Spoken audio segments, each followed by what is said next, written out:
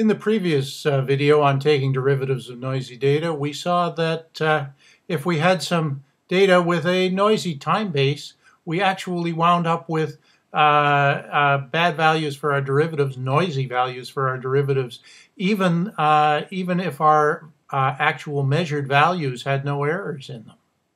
So, for example, we got this noise when we were just looking at the time base having some variability in it we saw that we had variability in the actual values of our uh, milliseconds or microsecond measured time base. And down here we saw that when we used actual microsecond timing, even with our values being perfect, we got some noise in the second derivative. And particularly, even if we took many time steps to average over, we were still getting lots of noise. So let's see what would have happened if instead of taking five steps to average over here. We'd only taken one step to average over. What do we get? We get a real mess here. So we could probably improve on that somewhat by smoothing our data. We've previously looked at this exponential smoothing approach, which allows us to use this function which you've seen in previous videos, to just smooth off the edges of the data. And we can use a time constant to uh, characterize that smoothing to, uh, to get some of the noise out of the data. So let's start by exponentially smoothing that data. We'll take our microsecond base time base, our v values that we started with, and we'll make them smoother with a, uh, a uh, time constant of four milliseconds. So whatever is happening here, it's happening a lot more slowly than four milliseconds. And then we'll take the derivative of the smooth data. Once we've got the derivative, the v prime of that smooth data, we'll smooth the v prime data and then take the second derivative of that smooth v prime data. And let's see what comes out there. And again, we're just doing one time step for each of those uh, differentiations. Sure enough, if we do that calculation, we've got relatively low noise, or at least relatively low noise compared to this. So when we went back to the, uh, to the one-step calculations, we're doing much better if we smooth the data along the way. Now there's some interesting stuff going on here.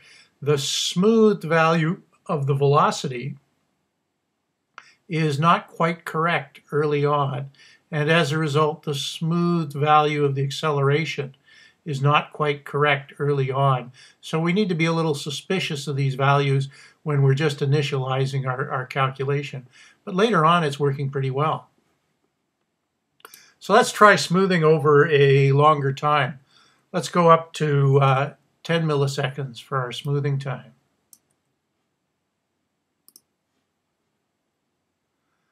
That got rid of a whole lot of noise, but it's added some lag here.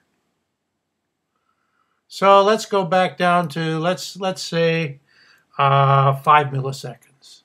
See if that's a reasonable compromise.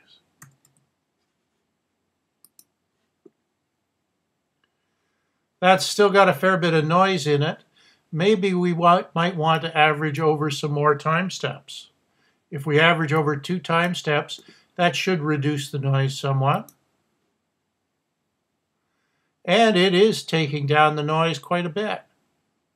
Let's try three time steps.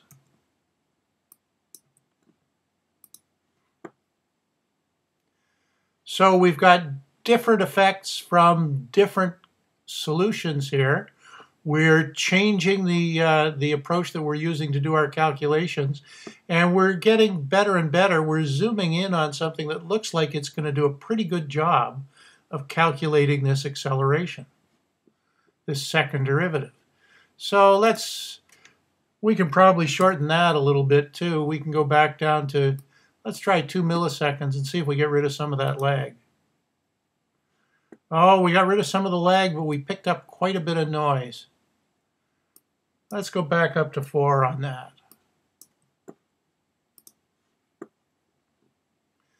So you can see it's very much a matter of compromise on the parameters you select to clean up your data to allow you to be able to do reasonably reliable derivatives, even, uh, even if the value information is highly accurately measured.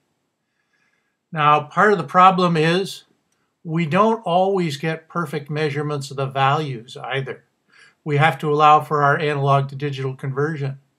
So what I'm doing down here in this function is I'm taking my values v and I'm looking at my analog to digital conversion in terms of offset and range and the number of bits of resolution that I've got. So I'm going to take my original set of values, copy them into this new set of values. I'm going to figure out what my resolution maximum number is. So 2 to the number of bits minus 1. For example, if the number of bits was 10 like on the Arduino, that number would be 1023.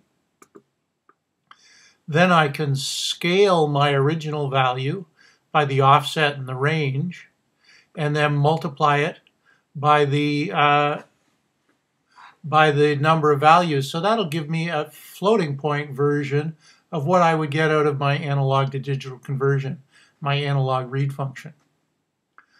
I could add to that some random, normally distributed random error uh, for some conversion noise.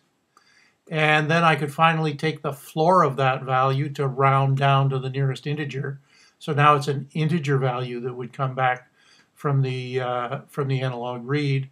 And finally, I'll scale it back out again to the original value, the same way that I'd do if I was doing that conversion inside my Arduino code.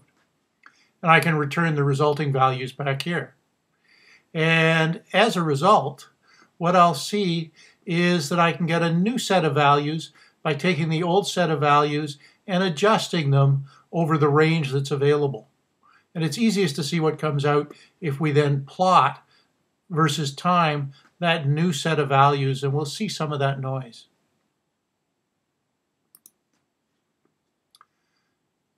So here we see some data with some noise. That's these values down here. And you'll notice now it's got a little bit of noise on it, discrete values associated with the analog to digital conversion. We'd be pretty happy about that as, uh, as individual values when we did our, uh, did our measurements before. But now let's see what happens if we use that to do some derivatives.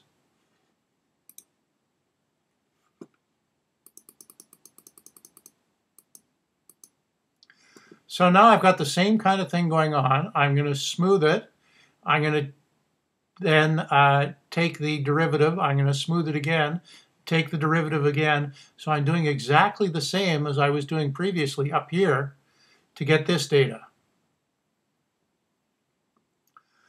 But I'm going to do my calculations using my imperfect microseconds based uh, uh, time base, and I'm going to do it using my imperfect data that's been converted on the analog to digital conversion. And I'm going to see what happens. And let's start off with values the same as we were using up here to get something that looks pretty good. So that was 4 milliseconds smoothing and three time steps to do the differentiation over.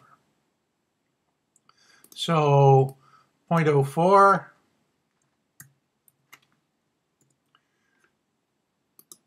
0.04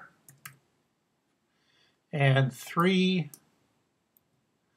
and 3 and let's see what happens. Yikes, that data is not looking anywhere near as good as we might have hoped. I'm, uh, I'm hoping that we can do a little better than that. Uh, even, in fact, if we look at the orange stuff hiding back in there, even the first derivative has now got a bunch of noise on it. So let's smooth over a longer time. Let's try 10 milliseconds and see what happens.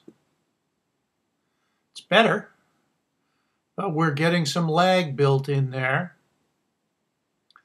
Let's try doing it over some more time steps.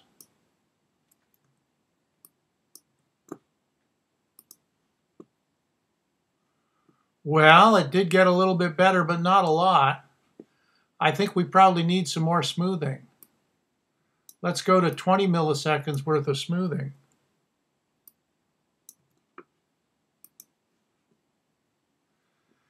That's getting considerably better, but it's lagging behind in time. So what you're going to need to do whenever you're trying to deal with data like this, where you're trying, trying to take derivatives, is you're going to have to find some way to improve the quality of that data, to reduce the amount of noise. Because every time you take a numerical derivative, you amplify the noise that was on the original values by a huge factor. So this is causing us uh, a lot of difficulty here. The best thing to do is if you can, try to avoid taking more than one derivative. For example, I can get a really good approximation here of what the velocity is, what the first derivative is, even if I can't get as good an approximation here of what the second derivative is. So keep all of that in mind when you're trying to calculate derivatives from your experimental data. Experimental data won't give you good values for derivatives because that whole derivation, that derivative process, is going to amplify the noise.